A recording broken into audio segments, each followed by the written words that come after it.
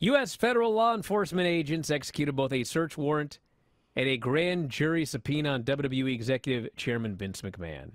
The news came courtesy of WWE's quarterly SEC filings Wednesday. That was nice, where the development was reported.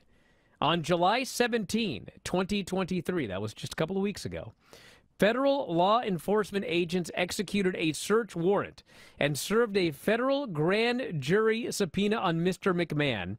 No charges have been brought in these investigations. Company has received voluntary and compulsory legal demands for documents, including from federal law enforcement and regulatory agencies concerning the investigation and related subject matters.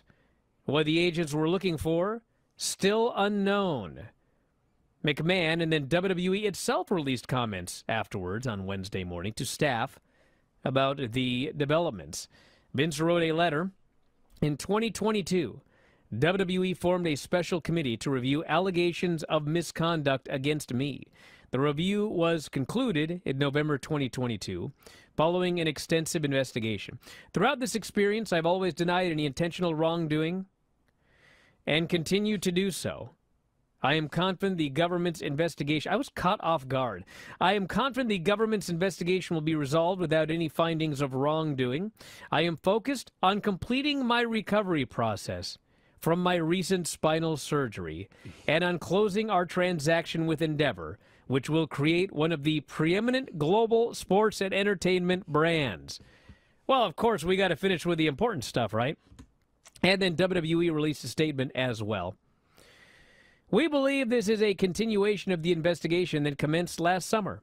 WWE has cooperated throughout, fully understands and respects the government's need for a complete process. Nick Khan asked about the development on the investors' call, declined to answer other than saying that WWE would be fully cooperative. He confirmed during the call McMahon is on indefinite medical leave after undergoing spinal surgery. Khan gave no other details, saying they were respecting McMahon's privacy during this time. Now, here's here's my takeaway from all of this. I don't know what's going on. I have no idea. But you know, there's two types of people in this world.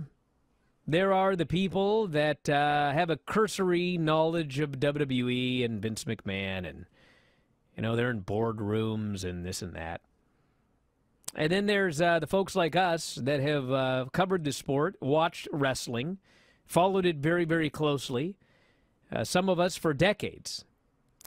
And to me, there was a turning point around uh, July of last year when all of this began with Vince McMahon and he, you know, he stepped away and everything like that and uh, and that was that what's going to happen when Vince is no longer around?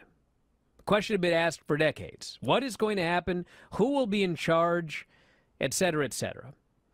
And you know the the general public believed that without Vince, this thing was going to collapse. And you know, if you were a, a close follower of WWE, I don't know what you were thinking. But uh, what I know is that uh, from about 2018 on, it became increasingly clear that uh, this guy was nothing but a disaster and that uh, the company was better off without him. And the product got worse and worse and worse. And listen, whatever you think about this company, 2018, 2019, 2020, I mean, those three years, we went from whatever it was to uh, essentially this was World Championship Wrestling. Advertised matches, they don't take place. There's no continuity whatsoever. The show is absolutely atrocious. You know, we we uh, we talked about how much it sucked. That's where the world famous Raw report began, where it was just nothing but belittling the show and how stupid it was and how much it sucked. And uh, I, you know, I don't want to sit here and say I told you so, but you know, then we got into oh, let's look at these declines.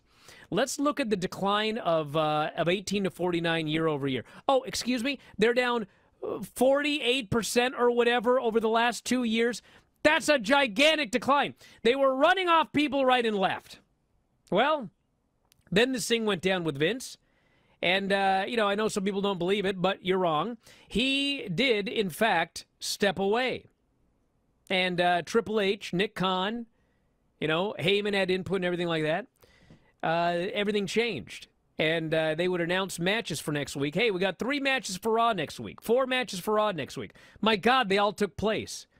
And again, whatever you think about the show, the show improved dramatically when the guy was gone. Let's look at the business over the last 18 months.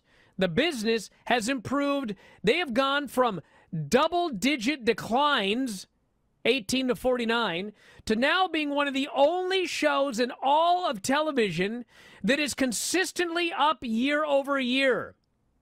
Now, for a while there, he, he worked his way back in. We've seen it over the last uh, four or five months.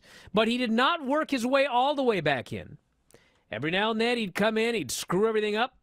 But in general, it was the same crew that had been there when he was uh, when he was ousted, and uh, it's still miles better.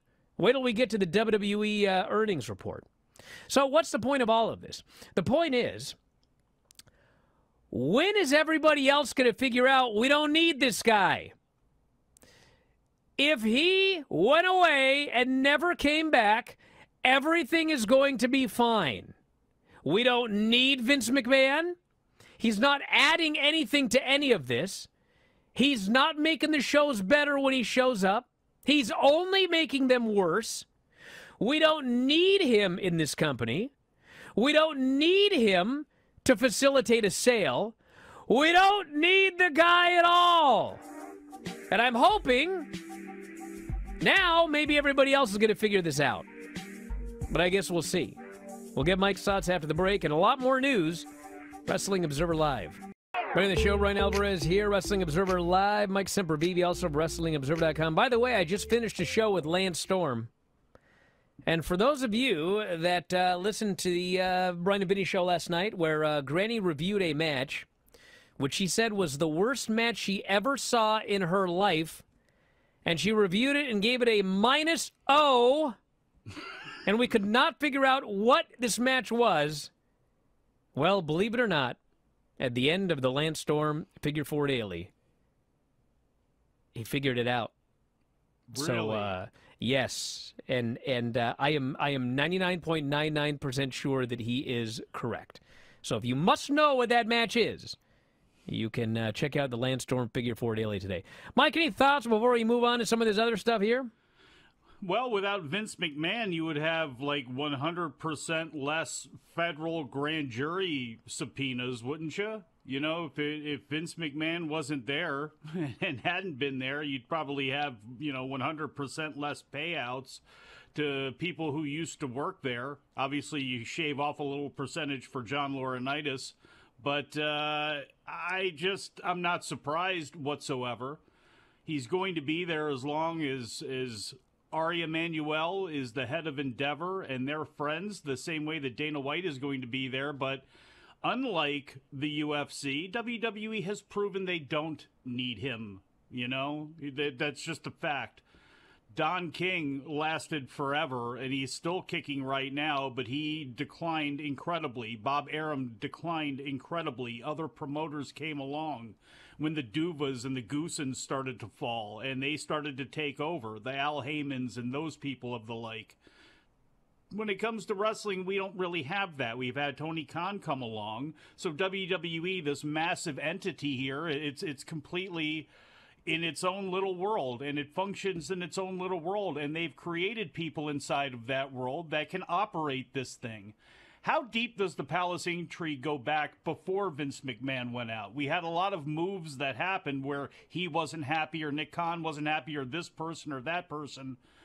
But the bottom line is, without Vince, the thing kept going and it succeeded. And the product on TV did get better. It did become more, co- more coherent you don't need Vince McMahon there for the production. That's Kevin Dunn. He's been doing it for 30 years. You don't need him there for creative. You have a bunch of writers and you have Triple H who has proven his worth at this point. Regardless of what you think about him, he is at least, at the very least, competent, if not much better than that. And you have a whole crew there.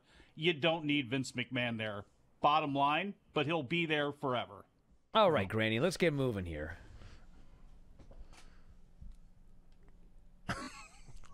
Or not. Not all at once.